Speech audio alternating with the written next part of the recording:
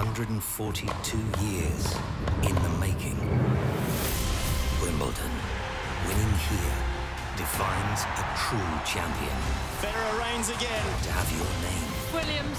Nadal. Djokovic. etched in history. Back at the top of the game. In the greatest tournament of all, Wimbledon. Live and free